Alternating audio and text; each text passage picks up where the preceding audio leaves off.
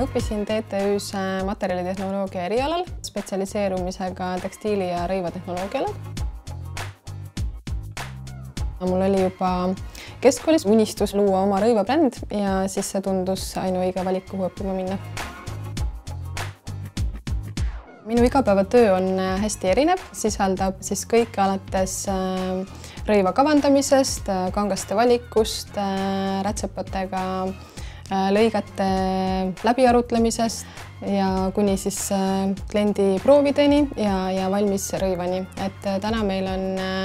kliente seitsmeteistkümnest riigist üle maailma ja suhtleme ka väga palju online põhiselt välisklientidega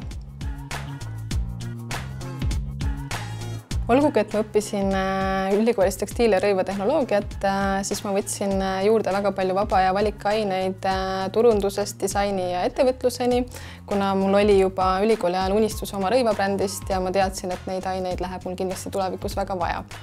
hetkel ongi minu töö väga tugevalt turundusega seotud, meie jaoks on väga oluline brändi visuaalne identiteet ehk siis kõik pildid, videod, me oleme loonud väga tugevad sotsiaalmeedia platvormid endale ja töötame täna ka väga tugevalt Youtube'i kanali väljatöötamise kallal mina valisin äh, antud eriala just seetõttu, et TTÜ-st saab väga laiapõhjalise hariduse. lisaks äh, oma eriala spetsialiseerumisele saad juurde väga palju lisaaineid ja see annab siis tulevikus äh, suure võimaluse töötada mis tahes valdkonnas, mis tahes erialal ja kindlasti saab sinust tippspetsialist.